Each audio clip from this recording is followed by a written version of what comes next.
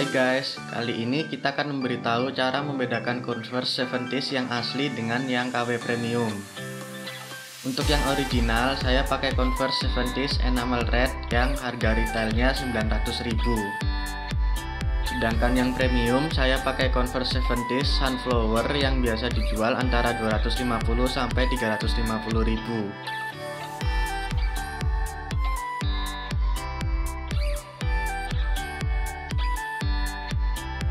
Perbedaan pertama terletak pada heel padnya. Yang asli fontnya terlihat seperti ini dan heel padnya full sampai ke bawah. Sedangkan pada yang KW fontnya berbeda dan heel padnya tidak full sampai ke bawah.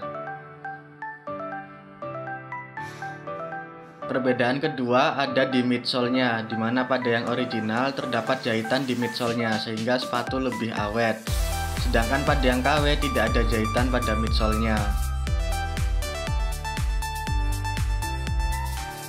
Lanjut di bagian outsole, outsole yang original di bagian belakang ada 5 garis horizontal dan menyatu dengan bagian outsole lainnya.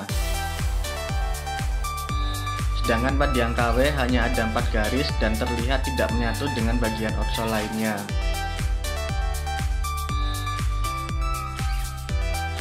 Perbedaan selanjutnya ada di bagian emblem. Di sepatu yang original, jahitan pada emblem rapi, terlihat tekstur kulit, dan logo bintang yang dicetak emboss kalau diraba kerasa dalam. Sedangkan pada yang KW, jahitan tidak rapi, tidak terlihat tekstur kulit, dan logo bintang embossnya tidak seberapa kerasa waktu diraba.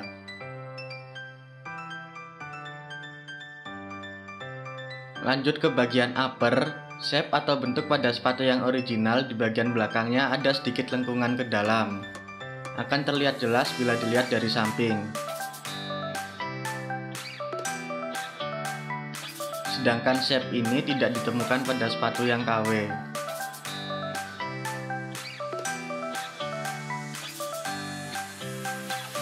Untuk tali sepatu, ujung dari tali sepatu yang asli hanya sekitar 1 cm, sedangkan pada yang KW terlihat lebih panjang dari yang ori.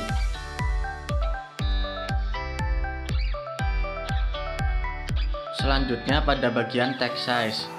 Pada sepatu original terdapat kode art yang jika dicari di Google akan keluar sesuai gambar sepatunya. Setelah itu pada sepatu yang original, tiga digit angka terakhir pada bagian ini berbeda di sepatu kanan dan kirinya. Sedangkan pada sepatu KW, kode art tidak sesuai dan pada bagian tadi angkanya sama di kanan dan kiri. Perbedaan terakhir terletak pada insole-nya. Insole sepatu yang asli dapat dilepas dan di dalamnya terlihat seperti ini. Sedangkan pada sepatu yang KW ternyata insolnya sudah dilem sehingga tidak dapat dilepas. Sekian perbedaan Converse 70s original dengan yang KW. Komen pendapat kalian di kolom komentar dan jangan lupa untuk subscribe channel ini supaya nggak ketinggalan konten selanjutnya.